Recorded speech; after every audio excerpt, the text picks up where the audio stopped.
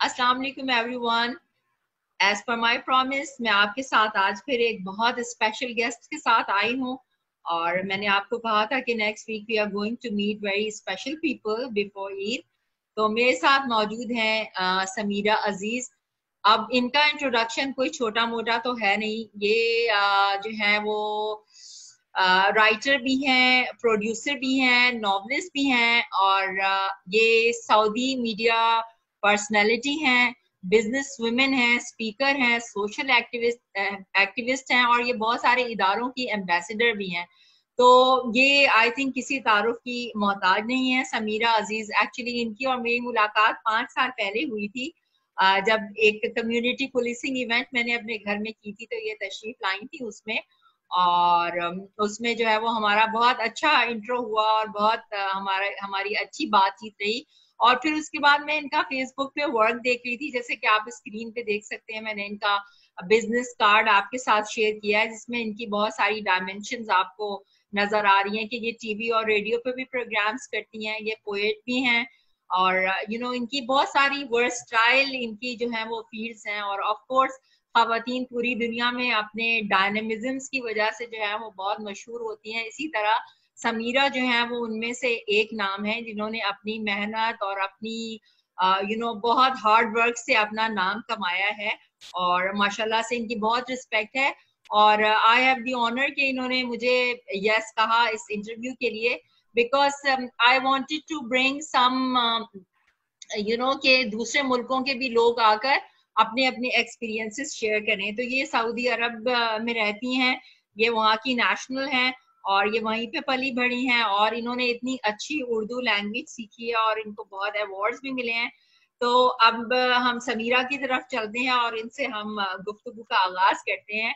और समीरा से जो है वो इनके व्यूज़ पर्सनल भी जानेंगे और दूसरा इन्होंने गवर्नमेंट लेवल पे सऊदी अरब में क्या क्या काम किए हैं as a women rights activist हम वो भी बिल्कुल जानना चाहेंगे। और देखेंगे कि कौन सी पॉजिटिव चीज़ें हैं जो हम अपने मुल्क में भी इम्प्लीमेंट कर सकते हैं। बहरहाल, हमने एक दूसरे से सीखना है and that's what's you know what is the requirement of the hour आजकल और कोविड 19 में जो डोमेस्टिक वायलेंस इंक्रीज हुआ है, उसका इफ़ेक्ट पूरी दुनिया की औरतों पे हुआ है not in Pakistan in Saudi Arabia in London in America everywhere आप जितने भी कंट्रीज़ के नाम लेने कम है So Samira, you're most welcome in my social media series and thank you so much for sparing your time. तो सबसे पहले तो आप अपने बारे में मैंने तो शायद कम इंट्रोडक्शन आपका कराया आप अपने बारे में ज़्यादा बेहतर तरीके से लोगों को बता सकती हैं कि एक तो आपकी फेवरेट फ़ील्ड कौन सी है जितनी भी आपने हमें बताई इसमें सबसे ज़्यादा दिल आपका किस काम में लगता है? क्योंकि कुछ इंसान की मजबूरियाँ होती हैं, जैसे प्रोफेशन है, और कुछ लोगों के जो शौक होते हैं, वो प्रोफेशन भी बन जाते हैं, मगर कुछ काम लोग वॉलेंटरली अपने दिल से करते हैं, अपने दिल की सेटिस्फेक्शन के लिए, कि जब वो रात को सोए और उनको सुकून की नींद आती है कि आज हमने दो लोगों की मदद की है, या आज हमारी जात से किसी लोगों को फ़ायदा हुआ है। तो प्लीज़ आप मुझे ये बताइए कि आपकी फेवरेट इसमें से फ़ील्ड कौन सी है और अपने बारे में थोड़ा सा और मुझे बताइए। मुझे लगता है कि मेरी जो फ़ील्ड है वो एक ही है विच इज़ मास मीडिया मैं मास मीडिया में काम कर रही हूँ। बचपन से मैं लिखती हूँ, नौ साल की उम्र से। मैं पैदा सऊदी अरेबिया में हुई हूँ, लेकिन उसके बाद मेरा तमाम जो बेसिक मेरी एजुकेशन है वो कराची से है। तो मैं हमदर्द बच्चों के रिसालों में लिखती थी हकीम मोहम्मद सईद के कलम कबीले से मैं थी। तो ये वहाँ से आगाज़ हुआ है एज ए राइटर उसके बाद मेरी शादी बहुत छोटी एज में हुई थी सोलह साल की उम्र में इस शर्त के साथ कि मुझे पढ़ने दिया जाएगा और मीडिया में जाने दिया जाएगा। okay. तो मैं बहुत छोटी सी उम्र में एज ए स्टूडेंट ही मैं सऊदी अरबिया आई थी। Samira if you don't mind ये कौन सा ईयर था एक्चुअली uh, मेरी शादी हुई थी नाइन uh, उस टाइम में मैं इलेवेंथ ग्रेड में थी फ़र्स्ट ईयर में थी पीसीएचएस कॉलेज में पढ़ती थी फ़र्स्ट ईयर में आई थी। और उसके बाद मैं शादी के बाद हर वक्त कराची आ जाती थी अपनी क्लासेस लेने के लिए। और जो जीएम जमाली साहब की वाइफ है शाजिया वो मेरी क्लास फेलो थी तो वो मेरी पढ़ाई में बड़ी मदद करती थी जो काम मिस हो जाता था मेरा होमवर्क वगैरह लिख कर मैं इसलिए पूछ रही हूँ कि Sindh child marriage restraint act आया है 2013 में और उसमें आप 18 साल से कम बच्ची होंगी शादी नहीं कर सकते ऐसा ही हुआ था। आ, लेकिन हाँ अब वो अब सऊदी अरेबिया में अब वो चाइल्ड मैरिज अला मतलब अलाउ नहीं हुआ है। मैं लाइक वाज 16 अच्छा। सोलह साल की थी। और बस पढ़ाई था, था मुझे ज़्यादा। अम्मी कहती थी नहीं शादी करनी है। तो चलो कर दी कोई बात नहीं आ गए यहाँ पे। लेकिन हाँ पढ़ाई जारी रखी और। उसके बाद मैंने मास्टर्स किया आईआर में इंटरनेशनल रिलेशन में कराची यूनिवर्सिटी से। और फिर मुझे जो है सऊदी मिनिस्ट्री ऑफ़ मीडिया ने ट्रेन करके Saudi research and marketing group में उर्दू न्यूज़ में मैं सीनियर एडिटर थी और मैंने एक मास्टर मैंने उस कंपनी की स्कॉलरशिप पे किया था प्रिंट मीडिया में। अच्छा। और उसके बाद मतलब फिर मैं सऊदी गजट में भी I was in decision making post और उसके बाद मुझे चौदह साल के बाद मैंने ये सोच के रिजाइन दिया कि अब मास मीडिया का दौर है लोग अब वीडियो देखना चाहते हैं। मैं तो लिखने को तैयार थी लेकिन लोग हम्म। पढ़ने को तैयार नहीं थे। तो मैं अपने मुल्क को सऊदी अरेबिया को कैसे दिखाऊँ दुनिया को? तो फिर मैं फ़िल्म मेकिंग पढ़ने बॉलीवुड गई थी। वहाँ मैंने मास कम्युनिकेशन में मास्टर्स किया।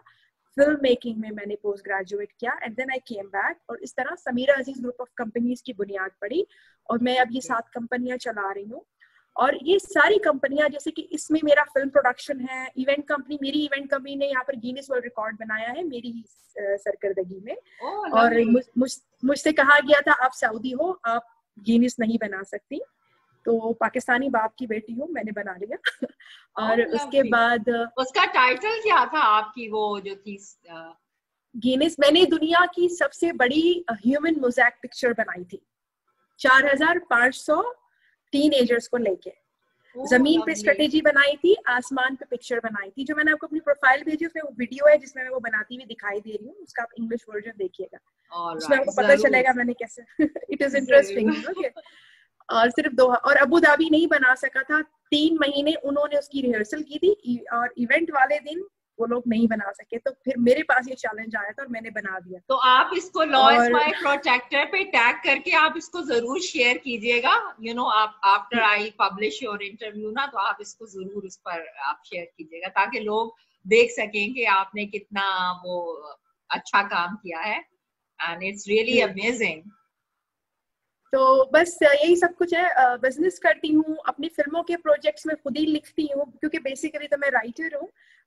मेरे मतलब हकीम मोहम्मद सईद साहब जो हैं उनके बच्चे आज बड़े हो गए हैं तो मैं भी उन्हीं में से हूँ। और तो आज हम दुनिया में अपनी जी बस हम दुनिया में अपनी रोशनी फैला रहे हैं यही काम कर रहे हैं। तो बस बेसिकली uh, मैं बिज़नेस वुमेन हूँ और आप मुझे सऊदी मीडिया पर्सन कह सकते हैं। मेरे पास सऊदी मिनिस्ट्री ऑफ़ मीडिया का गवर्नमेंट का मेरे पास ग्रीन कार्ड है। मैं ग्रीन कैटेगरी जर्नलिस्ट हूँ हुकूमती कार्ड है। और अपने प्रोजेक्ट में खुद करती हूँ आजादाना तौर पर uh, जैसे मैं आपसे जब फ़र्स्ट टाइम मिली थी उस टाइम पे मैं एज अ स्पीकर आई थी पाकिस्तान। तो uh, कहीं ना कहीं कभी तर्जिया निगार की हैसियत से कोई बुलवा लेते हैं कभी शायरा की हैसियत से एक शायरा भी हूँ। सऊदी में सऊदी अरेबिया की पहली उर्दू नॉवल नगार खातून का अवार्ड है as a writer as a poets as a journalist कई अवार्ड्स मिले हैं। Great women awards 2016 That's amazing Samira आप एटलीस्ट पाकिस्तान का नाम रोशन कर रही हैं और आप अपने मुल्क का नाम रोशन कर रही हैं। आप दूसरे मुल्क में रहकर जो है वो इतनी अचीवमेंट्स करी हैं। अब आपने शेर का नाम लिया है तो मेरे जहन में भी आ रहा है कि दयारे गैर में अपना मकाम पैदा कर। नई सुबह नई नई शाम पैदा कर that's Allama Iqbal said and it's really suiting you you know right now तो मैंने इसलिए पढ़ दिया ये शेर तो समीरा मुझे ये बताइए कि वुमेन राइट्स के बारे में या वुमेन चलिए वुमेन राइट्स तो एक बहुत ब्रॉड परस्पेक्टिव है. आप वायलेंस के बारे में आप क्या समझती हैं? क्या आपने कभी अपनी ज़िंदगी में वायलेंस विटनेस किया? या आपने खुद आँखों से देखा या कोई ऐसा वाक्य जिसने आपको बहुत टच किया हो वायलेंस अगेंस्ट वुमेन का या वायलेंस अगेंस्ट ह्यूमैनिटी एनीवन तो आपके पर्सनल व्यूज़ क्या हैं इसके, इस टॉपिक के बारे में violence against women and girls मेरा ताल्लुक दुनिया के उस मुल्क से है, जिसे सऊदी अरबिया कहते हैं, जहाँ पर औरतों के हकूक सबसे ज़्यादा उन पर सवालिया निशान था। और हम मैं उस टाइम पर उस मुल्क में उस टाइम पे मैं पिछली बात कर रही हूँ कि जब डोमेस्टिक वायलेंस लॉ था ही नहीं हमारे मुल्क में था ही नहीं। अब छोड़े उसको के राइट्स है कि नहीं। और हुआ ये कि मुझे सबसे पहले किस तरह एहसास हुआ कि जहाजार मैं एज ए जर्नलिस्ट जाती थी तो कोई भी किसी लेडी को आगे बढ़ता हुआ देखती थी उसका इंटरव्यू लेती थी क्योंकि मुझे अच्छा लगता है लड़कियों औरतों को क्योंकि यहाँ पर औरतें आ रही थी उस टाइम पे। तो एक रानिया अलबास थी उनका मैं इंटरव्यू लेने गई थी। वो पहली अनाउंसर थी सऊदी अरेबिया की हमारे सऊदी टीवी की। फिर मेरी उनसे दोस्ती हो गई। और फिर अक्सर मतलब जैसे सहेलियाँ बातें शेयर करती हैं इस तरह से तो एक दिली हमारी रहती है। फिर हुआ यूँ कि उनके शोहर ने उन पर इतना ज़्यादा वॉयलेंस किया और उनकी टेलीफोन पे बात सुननी थी जो वो सहेलियों से ही हमारे ही ग्रुप की सहेलियाँ थी हम लोगों से ही कर रही थी वो बात।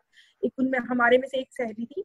और वो मतलब उन, उन अपने हस्बैंड की ऐसी कुछ बात कर रही थी और बाद में होता है लड़ाई होती है नेक्स्ट डे दोस्ती हो जाती है मियाँ बीवी हम्म। ठीक हो जाते हैं मगर उनके शोहर को इतना गुस्सा आ गया कि उन्होंने उनके बाल पकड़े और उनका जो जो चेहरा है वो टाइल्स पे मारा जिससे उनकी नाक जो है वो फ्रैक्चर हो गई और वो कोमा में चले गई। तो इसने उनको बाद में हॉस्पिटल के बाहर हमारे घर के पास ही वो हॉस्पिटल है इमरजेंसी वार्ड में फेंका और भाग गया।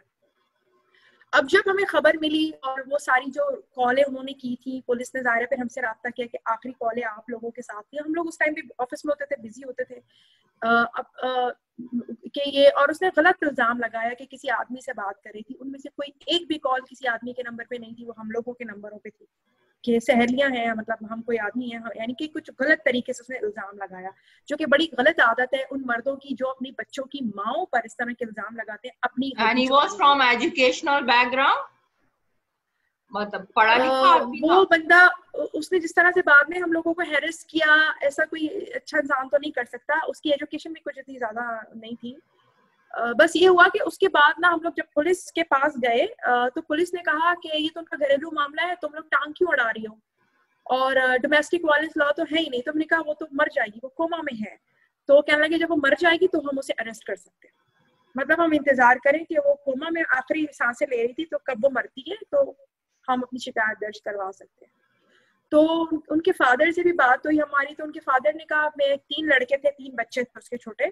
तो उनके फादर ने हमसे कहा कि आप जो है ना तस्वीरें इसकी लेके ना उस टाइम पे सिर्फ़ फेसबुक हुआ करती थी तो मेरी फेसबुक बड़ी पावरफुल थी उस टाइम पे। तो मैंने उसकी तस्वीरें उनके उनके फादर से ही लेके उनके फादर की मर्ज़ी से एक उसकी पहले की तस्वीर जो मैंने उसके इंटरव्यू के साथ लगाई थी और एक उसकी उस टाइम की तस्वीर लगा दी एक करके और वो वायरल हो गई। अच्छा। उसके बाद इस पर जो है ना बहुत दबाव हुआ इस बंदे पे ये भाग गया लिबनान।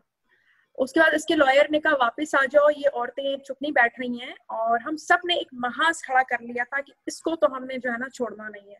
Very और उस, उसके लॉयर ने बोला कि आप वापस आ जाओ क्योंकि वरना ये आपको इंटरपोल से गिरफ़्तार करवाएँगी और सारे लोग इनका साथ दे रहे हैं। उस टाइम पे बिल्कुल बिगिनिंग थी सोशल मीडिया की और हमने वो सोशल मीडिया इस्तेमाल किया था। और हम लोग चाहते नहीं थे कि हम लोग गाड़ियाँ जलाएँ या ये करें। हम लोग बहुत तमीज से अपनी बात कहते थे और हम लोगों को जैसे मैं सुपर मार्केट में थी तो वहाँ पर लोग हैरेस कर रहे हैं। इसने हमें ना परेशान करने के लिए अपने पता नहीं किन किन लोगों से हमें परेशान करवाता था, शर्मिंदा करवाता था, जैसे हम बहुत बुरी औरतें हैं। और ये इसी के कुछ लोग थे जो करते थे। बाकी सारे लोग हमें सपोर्ट कर रहे थे, प्यार कर रहे थे।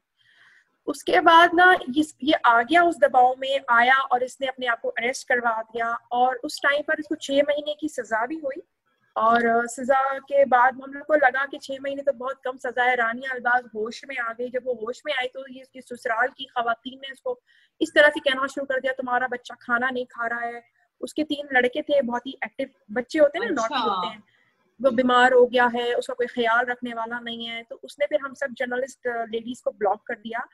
और असल में वो उस टाइम पर एक लॉ ये भी था कि दो साल की जो से बड़े बच्चे होते हैं वो बाप की ज़िम्मेदारी होते हैं तो वो माँ को नहीं मिलते हैं। तो अच्छा। इसने कहा कि मेरा सबसे छोटा बेटा भी दो साल से बड़ा है वो मुझे मिलेगा नहीं बीमार हो जाएगा।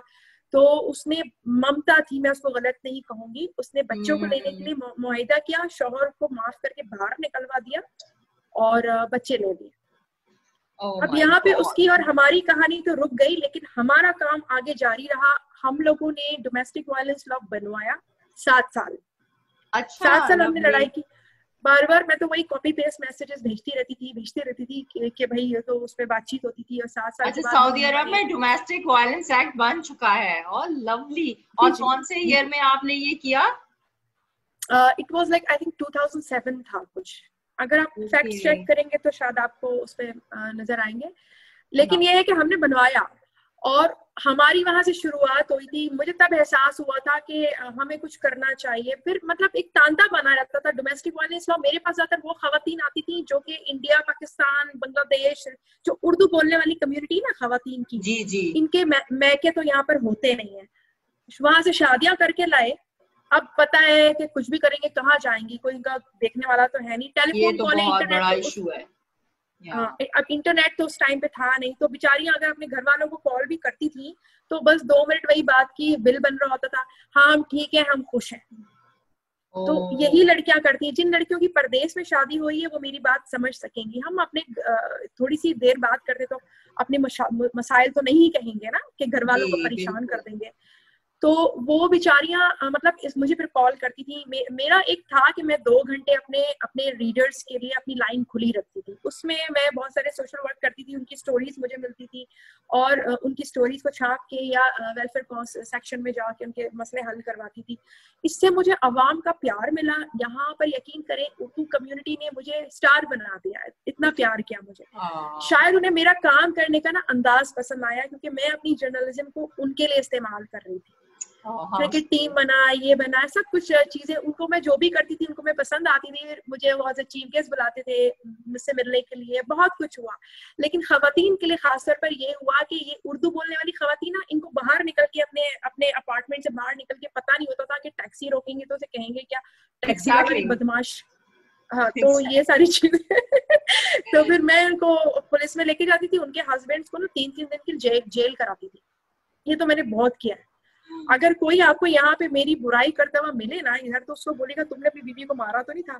फिर समीरा में जेल कराई होगी तुम उन्हीं में से हो गए। क्योंकि औरतें तो मेरी बुराई यहाँ पे नहीं करती और औरतें तो बकायदा मेरा नंबर रखती है अभी भी और अब मतलब मुझे इतना टाइम नहीं मिलता कि मैं लेकिन मैं उस जमाने में मेरा यही काम था कि मैं सुबह ही सुबह ऑफ़िस जाने से पहले सबसे पहले तो मेरा एक चक्कर लगता था इसी महकमे वगैरह क्या फिर मैं ऑफ़िस आती थी। काम वो करती थी और यही सब मेरी ज़िंदगी गुजरी basically this was your passion you did it out of your passion and ये इन चीज़ों से आपको सुकून मिलता होगा डेफिनेटली जब आप किसी की मदद करते हैं वो भी परदेश में. आई कैन अंडरस्टैंड कि परदेश में तो ना लैंग्वेज अपनी ना लोग अपने अपने मुल्क में तो और बात होती है. वी आर यू नो मैं खुद उसी तरह की थी ना. देखिए मैं खुद शादी होके आई थी. मेरा सारा मैका तो पाकिस्तान में था. यहाँ hmm. पर मेरा कोई भी नहीं था. तो मैं अपने से रिलेट करती थी। जो मेरी कहानी है वही तुम्हारी कहानी है। हाँ, तो exactly. मैं आ, मैं नहीं चाहती थी इंसान जो होता है ना वो सामने वाले को आ, नहीं देख सकता दुख में जिस जिसका वो खुद मतलब वो कर रहा है। मेरी एक आदत है कि मैंने कभी अपनी पावर अपने लिए इस्तेमाल नहीं की और मैं अपनी आ, नहीं करती। अल्लाह ताला होता है कि जिसको जितना जिगर दे और इस तरह से लेकिन मैं दूसरों के साथ मसला नहीं होने देती। कि वो मतलब ये एक चीज़ रहती है इंसान की। लेकिन हम तो ला सारी चीज़ें सॉर्ट आउट हुई और अब हमारे पास जो सऊदी वुमेन है अपने तमाम हुकूक के साथ अब हम ड्राइविंग भी कर सकते हैं और अब हमें सारे अब देखे मैं चेयरपर्सन हूँ Samira ji group of companies की आ, मेरे अंडर मेरी बेटी वाइस चेयरपर्सन है। oh, और सारे नीचे मेल मेल सोसाइटी है मेल स्टाफ है और कोई भी फ़र्क नहीं है वो बड़े फखर से मेरी सरकर्दगी में काम कर रहे होते हैं, कोई ईगो, कोई वो नहीं है कि इस तरह से लोगों ने यहाँ पर औरतों को तस्लीम किया है बाकायदा, वो लीडर्स है पूरे पूरे इदारों की। अच्छा समीरा, ये बताइए कि जब आप ऑफ़ कोर्स ये सब काम करती हैं तो आपको पुलिस डिपार्टमेंट की तो वहाँ पे जैसे कि my this social media series is with police department और उसका एक बहुत बड़ा रीजन है कि विदाउट पुलिस डिपार्टमेंट सपोर्ट आप लॉज को इम्प्लीमेंट नहीं कर सकते। और you know police is the one जिसने आपकी मदद करनी है चाहे वो डोमेस्टिक वायलेंस एक्ट हो या कोई भी ऐसा लॉ जो वायलेंस अगेंस्ट वुमेन के लिए बना हो। तो मुझे ये बताइए कि हाउ मच यू नो आपकी वहाँ पर पुलिस कितनी कोऑपरेटिव है? और लाइक uh, like, आपको क्या डिफिकल्टी होती है पुलिस को अप्रोच करने में? या वो किस तरह से लॉस को इस लॉ को इम्प्लीमेंट कर रहे हैं domestic violence domestic domestic violence law के मामले में पुलिस को बहुत सख्ती से किंग ने कहा हुआ है कि आपने इस तरह का कोई केस आए तो बंदे को छोड़ना नहीं है। अच्छा तो वो पुलिस जो है ना बहुत बहुत बहुत बुरा हाल करती है। ऐसे ऐसे भी लोग हैं एक एक केस मेरे पास ऐसा आया था उसने यहाँ पे मारा बीवी को उस बेचारी का दांत टूट गया। मतलब यहाँ पे मारा दांत ही निकल गया। मतलब ये कनेक्शन होता है oh my God, oh my God. के बाद ना उसके बोला इस, इसके इसको ना खाना टाइम पे मत दो। भूखा और उसको उसको ना तबलीग करो। तबलीग तो तबलीग के लिए बुलाया जाता है कि कितनी गलत बात है और इस तरह से। हम्म। तो पुलिस बहुत ज़्यादा बुरा सलूक करती है ऐसे आदमियों पर जो ये इस तरह की हरकत करें। यहाँ पे पुलिस मतलब police is working very well on domestic violence अच्छा समीरा ये मुझे बताइए कि जो आपका डोमेस्टिक वायलेंस लॉ है अब हमारा तो 2013 में थोड़ा देर से यहाँ पर बना लेकिन अल्लाह का शुक्र है वी आर ब्लेस्ड लेकिन हमारा जो डोमेस्टिक वायलेंस एक्ट है, उसमें तीन किस्म के वायलेंस को डिस्क्राइब किया गया है। एक फ़िज़िकल वायलेंस है, दूसरा इमोशनल वायलेंस है और तीसरा जो है वो फाइनेंशियल वायलेंस है। तो इन तीन वायलेंस को और सजा जो फ़िज़िकल वायलेंस की है, वो इकोनॉमिकल या फाइनेंशियल वायलेंस की भी उतनी है और इमोशनल वायलेंस की भी उतनी है लेकिन ऑफ़ कोर्स जब कोर्ट में जाती हैं खातन तो फ़िज़िकल वायलेंस के लिए उनको पोस्टमार्टम रिपोर्ट जो है, वो दिखानी पड़ती है। You know this is mandatory क्योंकि अगर निशान नहीं हो और इमोशनल वायलेंस और दूसरे के लिए भी उनको प्रूफ देना पड़ता है, कोई फाइनेंशियल स्टेटमेंट या इमोशनल कोई रिकॉर्डिंग या घर फैमिली मेंबर्स से कोई गवाह वगैरह। तो ये लॉ इस तरह से इम्प्लीमेंट हो रहा है। तो I am very much excited to know के आपके जो डोमेस्टिक वायलेंस आपका जो लॉ है, उसमें क्या इमोशनल एंड फाइनेंशियल वायलेंस है मौजूद? ऐसा ही है, बिल्कुल यहाँ पर बिल्कुल ऐसा ही है। और यहाँ पर तकरीबन डोमेस्टिक वायलेंस में छह महीने से एक साल की सजा हो सकती है और पचास हज़ार रियाल जुर्माना है। जुर्माना अच्छा। ज़्यादा पैसों का रखा गया है क्योंकि ऐसी खातन को ज़्यादातर फाइनेंशियली स्ट्रांग होने की ज़रूरत होती है तो इसलिए जुर्माना ज़्यादा रखा गया है। और इमोशनल वायलेंस बिल्कुल ऐसी है नफका कहते हैं हमारे अरबी में फाइनेंशियली जो है वो उसने अपनी बीवी को और उसके जितने बच्चे हैं उसको पैसे देने पड़ते हैं। तो उसके लिए हमारे पास कवानीन अच्छे हैं और सख्त हैं। और अलग से एक फैमिली कोर्ट है जो सिर्फ़ यही मसाइल जो है वो, उनको देखता है। सेम कोर्ट नहीं है फैमिली कोर्ट अलग है। उसमें अच्छा। अब खातन भी तैनात की गई हैं। अगर कोई औरत आदमियों से इंटरेक्ट करना नहीं चाह रही है तो वो खातन में और वो उसकी पूरी पूरी जो है ना मदद करती हैं। खातन के बारे में मैं आपको बताऊँ कि सऊदी अरबिया की खातन ऐसी हैं कि फेमिनिस्ट आप उन्हें कह रहे हैं लेकिन पॉजिटिविटी के साथ एक दूसरे की मदद करती हैं। अगर उनके जैसे हाँ जैसे अगर मैं भी हूँ मेरे मेरे सामने अगर कोई चार बंदे प्रपोजल लेकर आए हुए चार कंपनियाँ तो मैं वो तीन जो है उनके मेल के बजाय मैं उस उस लेडी को दे दूँगी उनको क्योंकि वो एक लेडी मेरे पास आई है। तो ज़्यादातर लोग फिर अपनी असिस्टेंट भी लेडीज़ ही रखते हैं कि ये you know, you know promoting women and supporting women you know that's that's very good. अच्छा समीरा मुझे ये बताएँ कि आप क्या समझती हैं कि ये जो वायलेंस होता है विमेन के ऊपर या चिल्ड्रन के ऊपर या कुछ बीवियाँ भी बहुत जुल्म करती हैं हस्बैंड पे वो इतनी साइको होती हैं कि हस्बैंड ने कुछ कहा नहीं और उन्होंने चीज़ें उठा उठा के हस्बैंड ने कोई बात नहीं मानी तो वो चीज़ें उठा उठा के अपने हस्बैंड पे फेंक रही होती हैं। और इन दी एंड नतीजा ये निकलता है हस्बैंड या तो भाग जाते हैं घर से बाहर उनके गुस्सा ठंडा होने का वेट करते हैं या फिर वो भी गुस्से में आ जाते हैं तो वो फोर्स इस्तेमाल वहाँ पर, क्योंकि मैन इज़ पावरफुल तो वो हिट उनकी ज़्यादा सख्त होती है। तो वायलेंस वुमेन uh, भी करती हैं of course emotional violence women भी करती हैं। फाइनेंशियल भी करती है तो ये कानून हमारे मुल्क में तो मर्द और औरत दोनों के लिए बराबर है। तो आप क्या समझती हैं इसके कॉजेज क्या हैं? क्या it's lack of education it's lack of awareness what do you think क्योंकि मैंने तो ऑक्सफोर्ड यूनिवर्सिटी से पढ़े हुए लोगों को भी बीवियों को मारते हुए देखा फ्रेंकली स्पीकिंग तो आप क्या समझती हैं कि इसके इसका बेसिक रीजन um, क्या हो सकता है? Why why people go for violence इसका बेसिक रीजन ये है कि हमें ना डिग्रियाँ तो बहुत दे दी जाती हैं हमें किताबी तालीम बहुत दे दी जाती है मगर हमें इखलाकी तालीम नहीं दी जाती और हमें ये नहीं बताया जाता या समझाया जाता कि हम एहसास ज़िम्मेदारी जिसे कहते हैं। अगर हमने शादी की है तो वो एक ज़िम्मेदारी है फिर हमारे बच्चे होते हैं तो वो भी ज़िम्मेदारी है। और आप क्विटर ना बने। क्योंकि जो लोग क्विट करने के आदि होते हैं ना फिर तो एक शादी तोड़ेंगे दूसरी तोड़ेंगे तीसरी और फिर उन्हें याद आएगा ओ पहले वाली ज़्यादा अच्छी थी। इसी तरह नौकरियाँ तोड़ते रहते हैं नौकरियाँ छोड़ते रहते हैं।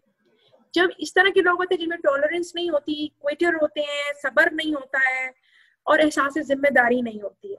गुस्से में शिद्दत आना गुस्सीला ज़्यादा होना ये सारे बिहेवियर प्रॉब्लम्स रहते हैं। इसकी काउंसलिंग होना ज़रूरी है। अपने एंगर को बच्चे को बचपन से अपना गुस्से पर गुस्से को हैंडल करना गुस्से पर काबू पाना सिखाएँ। हर एक को गुस्सा आता है बहुत नॉर्मल बात आपने कही है बिल्कुल। जैसे मोहब्बत होती है उसी तरह गुस्सा भी आता है इसी तरह आ, मतलब बहुत सारी। तो हर जज्बे को कंट्रोल में रखना इस इसकी तरबियत बचपन से होती है। स्कूलों में हमारे पास ये सब्जेक्ट नहीं है। मैंने पाकिस्तान हम्म। में पढ़ा है सऊदी अरेबिया में भी हमारे स्कूलों में ये सब्जेक्ट नहीं है।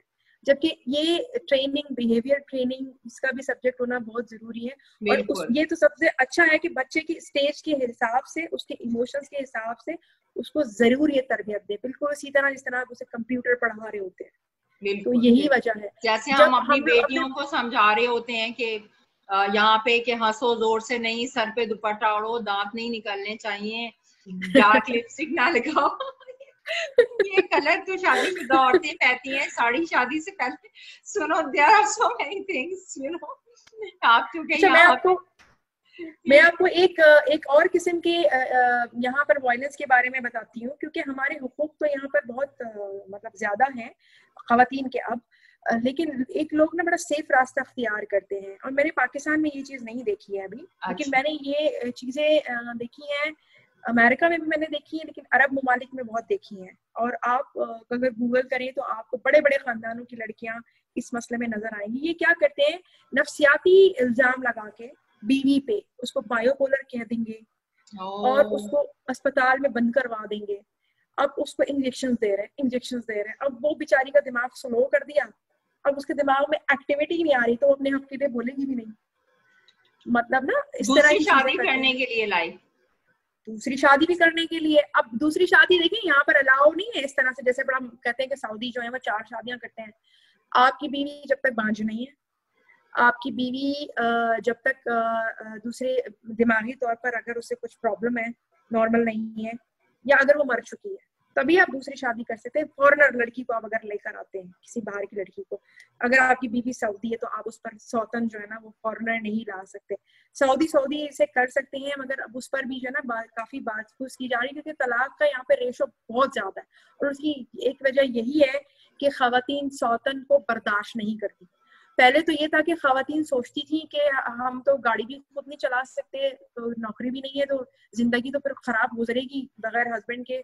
अरे ये भी फाइनेंस एक अहम चीज़ होती है। आप कह ले लाख कह लें लेकिन दिस इज़ आप भूखी नहीं मर सकती आप क्या करोगे? कैसे गुजारा करोगे? वापस से आप मैके तो पलट के नहीं जा सकते सबकी शादियाँ हो चुकी हैं माँ बाप मर चुके हैं आप क्या करोगे? तो शोहर का घर ही आपका जब औरतों के हाथ पाँव यहाँ पे पहले कटे हुए थे अब नहीं है। अब औरतें यहाँ पर अच्छा कमाती हैं अमीर हैं अपना अपना रोज़गार तो वो शोहर को ही नहीं बर्दाश्त करती है कि आप दूसरी शादी करो और इतनी फास्ट लाइफ हो गई है कि वो टाइम ही नहीं दे पाते। एक बीवी को नहीं दे पाते तो क्या चार बीवियों को कैसे देंगे? hmm. तो अब आप टाइम नहीं दे पाते तो आप दूसरी शादी किस चीज़ की कर रहे हो?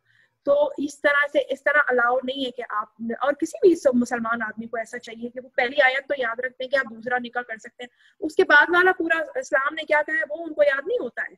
वो वो नहीं कि आपने दूसरी शादी करके ना सबके साथ मसावी सलूक भी करना है और वो आप कर ही नहीं सकते। आप जितने भी बोल दो बड़े बड़े मौलवी लोग उनकी बड़ी इज़्ज़त करते हैं। लेकिन समीरा नेचुरल चीज़ है कि if you love someone and if you love your husband तो ऑफ़ कोर्स वो फिर दूसरी शादी जब वो करेगा तो मे भी औरत इजाज़त दे भी दे लेकिन वो वो किस तकलीफ़ से या किस साइकोलॉजिकल ट्रॉमा से गुजरती है? Because if you love someone so you want to get hold of it ना? आप उसको शेयर नहीं करना चाहते। और वो बड़ा पेनफुल और जो औरतें मेरे ख्याल से मानती भी हैं इस तरह के लिए या वो राज़ी भी हो जाती है तो वो अपना दिल बहुत बड़ा कर लेती है। या मैं अगर ये कहूँ तो खुद को मार लेती है। अगर वो खुद को अंदर से मार लेती हैं तो वो मेरे ख्याल से उनके हाँ। लिए करेक्ट उनकी definition if if they love love the man और अगर यहाँ पे प्यार नहीं है तो वहाँ तो फिर वो जान छुड़ाने वाली बात होती है कि you know you can you can go ahead उसमें ये है। बिल्कुल ऐसे ही है। तो समीरा मुझे ये बताइए कि हम हम क्या जैसे कि आप भी ने माशाल्लाह इतना सऊदी गवर्नमेंट के साथ काम किया और आप भी वहाँ पुलिस डिपार्टमेंट के साथ इतना काम करिए जैसे कि मैं यहाँ पे कर रही हूँ। तो मुझे ये बताइए कि क्या स्ट्रेटजीज क्या सोल्यूशन हम इसके लिए निकाल सकते हैं to end violence against women and girls अब यहाँ पे मर्द हजरात की भी शिकायत दूर कर देते हैं क्योंकि उनको शिकायत मुझसे तो बहुत ज़्यादा रहती है लोगों को जो मुझे आते हैं सोशल मीडिया पे ट्रॉल्स के आपको तो बस औरतें ही मजलूम लगती हैं, फौजिया साहिबा।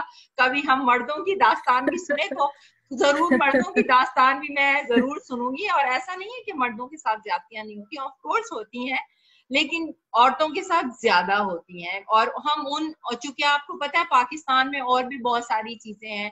अगर हम इंटीरियर और उसमें देख लें तो देर आर वलरेबल वेमेन जो जिनको कुछ पता ही नहीं है और वो समझती है मारपीट इस हमारी ज़िंदगी का हिस्सा है। दे accept it uh, like food water and everything you know तो hmm. क्या स्ट्रेटजीज आपने वहाँ पे ली हैं टू एंड वो? किस तरह से क्या आपने एजुकेट कोई मैन को एजुकेट किया है? किस तरह से आप आप वहाँ पे काम कर रहे हैं? यहाँ पर तो बेसिकली सारी लड़कियों को ना अपने हुकूक का पता है। अच्छा। क्योंकि ये सोसाइटी में इस तरह से रहा है ना कि मेल डोमिनेटेड सोसाइटी थी। जब आप किसी को बहुत प्रेस करते हैं ना तो वो एकदम फोर्स के साथ उठता है। तो वही हुआ अच्छा। है और अच्छा। खातन बाय द वे बहुत मेहनती है। यहाँ पे बहुत आला तालीम याफ्ता है। आला तालीम याफ्ता मतलब कि एक्स्ट्रा ऑर्डनरी तालीम याफ्ता। मेहनत कर रही हैं क्योंकि वो अपने आप को साबित करना चाहती हैं। क्योंकि उनको हमेशा एक औरत को और एक बच्चे को बराबर लिया जाता था। हम खुद ऐसा करते हैं हम अभी भी दुनिया में देख रहे हैं आप अगर वुमेन्स की बात करेंगे तो डोमेस्टिक वायलेंस लॉ में आप कहेंगे औरतें बच्चे। क्यों? बच्चे एक अलग चीज़ है औरतें एक अलग चीज़ है। आप हम्म। मर्द और बच्चे क्यों नहीं कहते? आप ये क्यों कहते हैं औरतें बच्चे? आप औरतों को बच्चों के साथ क्यों मिलाते हैं? ये चीज़ हम लोग यहाँ झेलते थे। लोग हमसे ऐसे बात करेंगे जैसे किसी बच्चे से बात कर रहे हैं। व्हाट जब मैं सऊदी गजट में थी मतलब हमारे साइन पे बकायदा न्यूज़ पेपर रिलीज़ होते थे। I was a senior international editor तो हम आपको दुनिया में खबरें दे रहे हैं इतनी मेहनत करके रिसर्च करके रोज़ाना एक खबर आप तक पहुंचाते हैं जो पहली दफ़ा आपकी समझ में आती है अच्छा ऐसा हो रहा है वो हम आपको दे रहे होते हैं। अब पीछे से हम कितना ट्विस्ट कर रहे हैं क्या कर रहे हैं वो सब हमें पता है। तो आप उस पर आप एक आप एक औरत जैसे क्या इसका मतलब आप बेवकूफ़ जब मैं आपको खबर दे रही थी बतौर औरत और आपने बड़े फखर से वो अखबार पढ़ा और वो खबर आपने सब में रिलीज़ की सबको बताई तो आप एक बच्चे की बात पर यकीन कर रहे हो? hmm. तो ये तजाद था ये तजाद था। तो hmm. हम लोग बाकायदा काम कर रहे हैं अपने आपको प्रूव कर रहे हैं और हमारे हाथों में उनसे ज़्यादा तालीम है। हम उनसे ज़्यादा मैच्योर है और हम उनसे ज़्यादा मेहनत करते हैं। मैं तो बाकायदा ना लिस्ट बनाती थी कि ये देखो ये ये ये ये मेरा काम है ये लंबी लिस्ट तुम अपना काम में दिखाओ लिस्ट बनाओ। और ये इतना फ़र्क होता था। दूध का दूध पानी का पानी। भाई आप तो मर्द हो ना। आप अच्छा काम करते हो आप हमसे ज़्यादा ताकतवर हो। काम करने में क्यों नहीं ताकतवर हो? हम कैसे ज़्यादा काम कर लेते हैं हम भी सुबह उठते हैं रात की की तरह नाचते हैं। हम्म। रात को सोते थे मुश्किल working ladies tough job I can understand अच्छा I was so happy even काम करके मुझे बड़ी खुशी होती है। हाँ, मुझे मतलब मैं वही कहती ना आपका गोल क्या है। तो मुझे तो बस काम दे दो। काम नहीं है तो काम पैदा कर आपने तो अच्छा समीरा आप कुछ स्टैटिस्टिक्स मुझसे शेयर करी थी वो मैं अभी स्क्रीन पे चला रही हूँ तो प्लीज़ उसके ऊपर कुछ थोड़ा सा आप थोड़ा रोशनी डालिए कि what it is all about और ये स्टैटिस्टिक्स आपने क्या आपके ये कुछ केसेस थे? मैंने स्क्रीन पे शेयर कर दिए कोविड नाइन्टीन के हवाले से आप कुछ बताना चाह रही थी। जी ये सऊदी मिनिस्ट्री ऑफ़ हेल्थ के आज के स्टेटिस्टिक्स हैं कोरोना के हवाले से अच्छा। कि पूरी रजिस्ट्रेशन जो हुई है वो one one thousand nine hundred and sixty eight नए केसेस की रजिस्ट्रेशन हुई है कोविड नाइन्टीन की और जिसमें से तीस अमवात जो है वो हुई हैं और इसके अलावा जो है जो रजिस्ट्रेशन जो रिकवर हो गए हैं वो 2000 2541 रिकवरीज हुई हैं अच्छा। जो कि अच्छा। बहुत अच्छी मतलब एक तादाद है डेथ कम हो रही है अलहमदुलिल्लाह हाँ। और अल्लाह उनको हाँ। जन्नत नसीब करे। और लेकिन आप देखिए सेहतियाबी की शरह कितनी अच्छी है। तो ये है। और टोटल जो है दो दो लाख बीस हज़ार two two lakhs twenty thousand three hundred and twenty three cases ये कोरोना के जो है। ये रिकवर हो चुके हैं जो कि एक बहुत बड़ी रिकवरी है तो सऊदी अरेबिया ने कोरोना को जिस तरह कंट्रोल किया है मुझे आ, मैं इसलिए नहीं कह रही कि मैं सऊदी हूँ या हुबुल वतनी के तहत कुछ कह रही हूँ मैं ये इसलिए कह रही हूँ क्योंकि I am proud of our ministry of health our government जिन्होंने कोरोना को इतने अच्छे तरीके से हैंडल किया जबकि आप hmm. हमारे यहाँ देखें हमारे तो हज और उम्र वगैरह की वजह से पूरी दुनिया के लोग आते हैं. और इसलिए क्योंकि पिछली दफ़ा का जो अबोला वायरस वगैरह का जो इशू आया था उसमें भी सऊदी मिनिस्ट्री ऑफ़ हेल्थ को काफ़ी तजुर्बा हो गया था। तो वो अच्छा। चीज़ भी कोरोना के लिए काफ़ी कारामद साबित हुई। तो कोरोना को बहुत अच्छे से हैंडल किया है सऊदी गवर्नमेंट ने। इसके अलावा जो डोमेस्टिक वायलेंस लॉ की शरह है सऊदी अरेबिया में उसकी कोई ऐसी रिपोर्ट नहीं है कि डोमेस्टिक वायलेंस लॉ ज़्यादा हुआ है। क्योंकि यहाँ पर आप डोमेस्टिक वायलेंस करोगे ये मिलाया नंबर मोबाइल पे और पुलिस दरवाजे पे खड़ी है। Oh, I'm so happy to learn that, uh, Samira. I'm really so happy to learn that कि इतनी फास्ट uh, जो है वो लॉ जो है वहाँ पे इम्प्लीमेंट हो रहा है।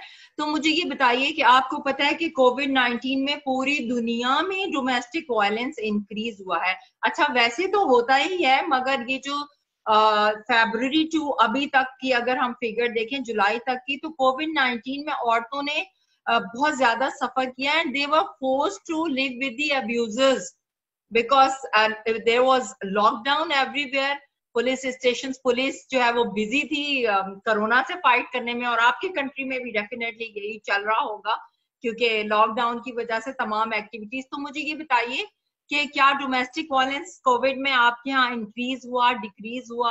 उसकी क्या परसेंटेज रही कोविड नाइनटीन में डोमेस्टिक वायलेंस मुझे इसकी कोई ऑफिशियल रिपोर्ट मेरी नज़रों में नहीं है लेकिन मैं एक बतौर मुबसर एक माशरती तजिया नगार एज ए जर्नलिस्ट जो बताऊँगी वो इसमें कि लड़ाई झगड़ों में डेफिनेटली इसलिए ज्यादती आई क्योंकि आप रह रहे हैं एक दूसरे की शक्ल देख रहे हैं अपना जॉब पे जा रहे हैं ना कुछ तो फिर ज़ाहिर फिर बहस वगैरह हो जाती है और उसमें। लेकिन कोई ऐसे शवाहिद नहीं मिले कि डोमेस्टिक वायलेंस लॉ में ज्यादती आई है या समथिंग अच्छा। क्योंकि मर्दों को अच्छे से मालूम है कि प्रॉब्लम बड़ी हो जानी है फिर यहाँ पे बड़ी बेइज्जती हो। जाती है। तो इट मींस के rule of law and you know that thing is very strict over there things are under control that's I am really glad to learn that अच्छा समीरा आपने बताया कि जैसे आप डायरेक्टर प्रोड्यूसर और आपने इतने ज़्यादा ड्रामे और मूवीज़ भी लिखी हैं तो आपका फेवरेट टॉपिक आपने किस टॉपिक को ज़्यादा आपने हाईलाइट किया है अपनी प्रोडक्शन में और अपने उसमें ड्रामों में? आपका फेवरेट टॉपिक कौन सा रहा है? मैं कुछ ना चाहते हुए भी औरतों पर ही लिख बैठती हूँ। मतलब ये मेरा एक है। हमने 10 से 10 11 साल पहले फ़िल्में बनाई थी। लमार के नाम से हयात के नाम से। हयात तो बिकी नहीं किसी ने ली नहीं। और हमसा लइहा एक ड्रामा था जैसे हम पाँच आप उसे कह लें। उसमें उसमें हमने विरासत पे बात की थी खातन के। हाला हम्म। बर्रा कॉमेडी तंज था। और वो दस ग्यारह साल पहले जब आम लोगों को फ़िल्में बनाने की को अलाउ नहीं था स्पेशल परमिशन हम्म। में हमने वहीं जिद्दा में शूटिंग की थी। उसके बाद मैं पढ़ने इंडिया चले गई थी बॉलीवुड से और वहाँ से जब मैं आई मुझे ये भी कहा गया आपको तो गिरफ़्तार कर लिया जाएगा आप फ़िल्म पढ़ने चले गई इतनी सीनियर होके।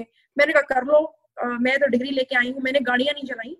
देखिए हमारा एक्शन क्या था मैं वो बताना चाहती हूँ शेयर करना चाहती हूँ पाकिस्तानी खातन से कि हम लोग बैनर उठा के नहीं खड़े हो जाते।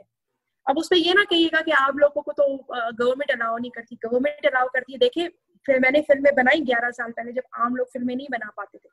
क्योंकि हम्म। मेरी गवर्नमेंट को मेरी सोच बताती है वो वेरी पॉजिटिव पर्सन और अमन पसंद इंसान अब फॉर एग्ज़ाम्पल मैंने एक कवर पेज लगाया था यासमीन अलमेमनी का शी वॉज़ अ पायलट सबने मज़ाक उड़ाया गाड़ी तो चला नहीं सकती पायलट की तस्वीर लगा रही है तो मतलब हम कहना ये चाहते हैं हो जाते हैं लोग बहुत ज़्यादा That was a personal attack on me. Yeah, okay. That was a personal attack. खातन उस वक्त गाड़ी चलाना अलाउ नहीं थी ना तो इसलिए अच्छा, लेकिन अच्छा, हम अच्छा. ये कहना चाहते थे कि देखिए हम लोग पायलट हैं हम लोग को ड्राइविंग भी आती है हमको ये भी आता है वो भी आता है।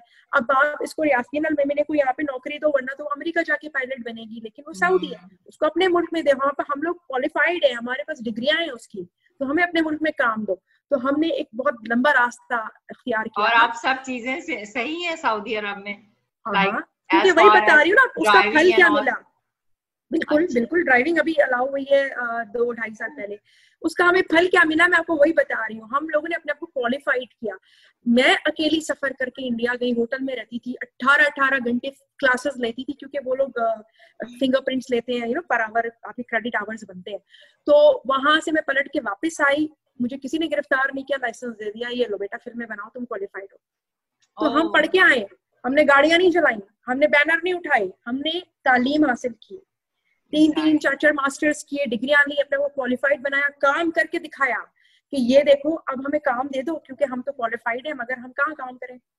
आ, मैं इंडिया जाके काम करूँगी अमेरिका जाके काम करूँगी कहाँ पाकिस्तान जाके? मैं ये मेरा मुल्क है। और मेरे पर डिग्री है मैं क्वालिफाइड हूँ बाहर वाले तो मुझे काम दे देंगे। Oh, लेकिन और मुझे दे दिया। ये अच्छी अप्रोच है ये बहुत ज़्यादा और आपको पता है I believe in this hundred percent जो आप बात कह रही हैं कि आप अपनी बात मनवाएँ और यू you नो know, अगले को उस पॉइंट पे लेकर आए कि वो बोले yes go ahead and you know मैं तो सीधे से बोलती थी जो मुझे मना कर रहे हैं वो मुझे अपनी सीवी दिखा दें फिर मुझसे बात करें। Hmm. अभी कोई भी अगर मुझे कहता है तुमने गिनीज वर्ल्ड रिकॉर्ड बनाया नहीं बनाया ना मैं तुमसे बात नहीं करती। ऐसे ही करो क्योंकि यू नो वो आप भी क्रिटिसाइज करेंगे उन, उन्होंने कुछ किया भी होगा नहीं लाइफ में। मेहनत हाँ। करके देखो जब अपने बच्चों को घर पे छोड़ के तुम वहाँ पढ़ रही होती हो ना और तुम्हारा लंगा होता है आज मेरे घर में टमाटर नहीं है फिर मैं अपनी उस टाइम पे मेरे बच्चे तो खुद खाने पीने लगे थे बड़े हो गए थे। बेटी को मैंने पकाना वकाना कि भाई सब कुछ। लेकिन मैं अपनी हाउसमेट से कहती थी कि तुम मुझे ना दिखाओ जरा मेरा मेरा फ्रिज दिखाओ। मैडम ग्रोसरी व्हाट्सएप पे आ रही है। एंड थैंक्स फॉर टेक्नोलॉजी जो भी जो भी कुछ कर सकते थे ना सब कुछ इस्तेमाल में ला के पढ़कर पढ़ लिख कर वापस woman instinct you know? Everywhere that's you know women are like that. ये मुश्किल yeah. रास्ता होता है पता है? और बच्चों को भी तैयार करना देखो देखो ऐसे तुम्हें चलना है अब मामा नहीं मदर ना। हाँ yeah. तो इस तरह से ना सारा अब मैंने मेरे क्योंकि मेरी छोटी उम्र में शादी हो गई थी तो मेरे तो बच्चे माशाल्लाह बड़े बड़े हैं। अब oh, सारे लोग कहते हैं कि मैं इतनी छोटी हूँ नहीं जितनी लगती हूँ भाई बच्ची मेरी माशाल्लाह मेरा सारा फाइनेंस संभालती है मेरे मेरी कंपनी oh, में माशाल्लाह। साथ साथ हम लोग एक जैसे रखते हैं अब। लेकिन बात यह है कि ये एक बहुत मुश्किल रास्ता है। पढ़ना अब किसी दूसरे मुल्क में अपने मुल्क में भी दूसरे मुल्क में जाके पढ़ना जो कि और इतना ज़्यादा काम करना और अपने आप को मनवाना कवानीन बनवाना यू नो इतने डिपार्टमेंट गवर्नमेंट के साथ काम करना। मैं कहती हूँ Samira hats off to you कि आप इतना काम करती हैं माशाल्लाह। और बिलाशुबा आप पाकिस्तान का नाम जो है वो आपने बिल्कुल रोशन किया है और आप आगे भी करेंगे। I am so happy to talk to you about that and आपके ख्याल बहुत अच्छे हैं आपकी सोच बहुत अच्छी है। जैसे कि खातन की अमूमन नहीं होती, बहुत हाईली एजुकेटेड खातन की ये सोच होती है। और आपने बहुत अच्छा मैसेज दिया है पाकिस्तानी वुमेन को। तो समीरा, मुझे बताएँ, आप पोइट्री भी बहुत ज़्यादा करती हैं और आप पोइट्स भी हैं तो मुशायरे भी आप बहुत अटेंड करती हैं। तो कोई अपना अच्छी सी कोई, आप मुझे अपनी फेवरेट पोएम गज़ल अगर आप शेयर करें तो मुझे बहुत खुशी होगी। मैं एक शेर सुनाना चाहूँगी। अगर आप इजाज़त दें शेर पे ही ख़त्म करेंगी कि खातन के लिए मैसेज मैं ये देना चाहूँगी सबसे पहले कि रोने धोए नहीं काम करें काम करके दिखाएँ और पोस्टर्स और बैनर्स उठा के पाकिस्तान का नाम इंटरनेशनल मीडिया में खराब नहीं करें। क्योंकि ज़ाहिर है मैं मुझे वो तस्वीरें मैं देखती हूँ मुझे अच्छा नहीं लगता कि हमारी खातन ऐसी नहीं है। और वो जो खातन की इस तरह के बैनर्स आ रहे होते हैं वो पूरी पाकिस्तानी खातन की तर्जमानी भी नहीं है। तो रोए बिल्कुल भी नहीं और रोने की ज़रूरत नहीं। क्वालिफाइड करें मेहनत का रास्ता नो शॉर्टकट मेहनत का रास्ता अख्तियार करें और ये धड़ले से अपनी डिग्री और काम दिखाएँ। लाओ बेटा मर्द को पूछे अपना काम दिखाओ। तुमने तुमने क्या काम किया? तुम तो मर्द हो ना। ऐसे करके भाग जाएँगे वो। मुझे मेरा तो देख के भाग जाते हैं। मैं फॉरन डिग्रियाँ निकाल के बैठ जाती हूँ मैं अपनी। अपनी सीवी आपने देखा ना मैंने अच्छे से डिज़ाइन की हुई है। और प्रूफ के साथ वीडियोस मैंने अपने काम के बनाई हुई है। पिक्चर स्पीक्स थाउज़ेंड वर्ड्स ये देखो हम ये कर रहे हैं। तुम भी दिखाओ तुम क्या कर रहे हो? कुछ करने को होगा तो दिखाएँगे ना। उनके उनके स्नैपचैट पे क्या होता है? एक गाड़ी जा रही है डैशबोर्ड पे एक गाना लगा हुआ है सड़क लंबी है जा रही है ये उनके स्नैपचैट होते हैं। ठीक है ये कोई लाइफ होती है। मतलब सही कह रही हैं और हमें तो लाइक जब से मैंने ये और लॉ इज़ माई प्रोटेक्टर से पहले भी मेरा माइंड हर वक्त ये चलता था हाउ टू प्रिवेंट वायलेंस क्या करें क्या करें पुलिस को ट्रेनिंग दें और आपको पता है मैंने कितनी पुलिस को ट्रेनिंग तो मेरे माइंड में भी ये सारी चीज़ें डेफिनेटली जो है वो चल रही होती थी। आप बिल्कुल सही कह रहे हैं। पुलिस को ना मुझे ना पूरी दुनिया में ना दुबई की पुलिस बहुत अच्छी लगती है। अच्छा। उनका इखलाक बहुत अच्छा है। अच्छा। और ये मैं हमारे मुल्क की पुलिस को बोलती हूँ पकड़ पकड़ के। इखलाक अच्छा करो। I want to see smile smile करके दिखाओ। मीडिया वैसे तो लोग कहते हैं ना लंदन पुलिस बहुत अच्छी होती है। उनके अच्छा। बहुत अच्छे थे क्योंकि पूरी दुनिया की जो आ, वो है रिकॉर्ड उनमें वैसे जो ओवरऑल रेटिंग में बता रही हूँ बट उसमें लंदन पुलिस को नंबर वन का दी हूँ इसलिए कि उनका एटीट्यूड बहुत अच्छा होता है। उनका अखलाक अच्छा। लेकिन अब उनके पास भी गन्स आ गई हैं। अब बेचारे क्या करें? उन्होंने भी अपनी प्रोटेक्शन के लिए जिन्हों दे दी हैं। तो अब आपका आई डोंट डोंट नो लेकिन दुबई का I am hearing it first time and definitely I try to be in touch with you know Dubai के किसी वो आपको गाने भी सुनाएँगे। पता है अगर उनको अच्छा। कुछ आती बाती नहीं मगर गाने भी सुनाएँगे आपको देख के। मतलब यार अच्छा। इस तरह के होते हैं। हाँ। इसलिए मुझे ना तो शेर जो है मुलायजा कीजिए। गर्दन झुकी हुई है इसको झुकाए रखना। हम्म। गर्दन झुकी हुई है इसको झुकाए रखना। यार अब मुझे परिंदा यूँ ही बनाए रखना। यार अब मुझे परिंदा यूँ ही बनाए रखना। Wow, that's so beautiful, Samira. Thank you so much for such beautiful conversation और अपना काम बताने का और अपने लॉज डिस्कस करने का। और अपना आपने पैशन शेयर किया अपनी पोइट्री शेयर की। Thank you so much it was really lovely talking to you अच्छा मुझे ये बताइए कि सऊदी अरब में कोई हेल्पलाइन नंबर है आप लोगों का जिसपे खातन जो है वो इमीडिएट कॉल कर सकें? या कोई ऐसी ऐप कि वो कॉल करें और वो पुलिस डिपार्टमेंट के पास उनकी लोकेशन चली जाए और सब कुछ कुछ इस तरह की है डेवलपमेंट हाँ हाँ हाँ। फॉरन आ जाते हैं। दो नंबर है पुलिस के।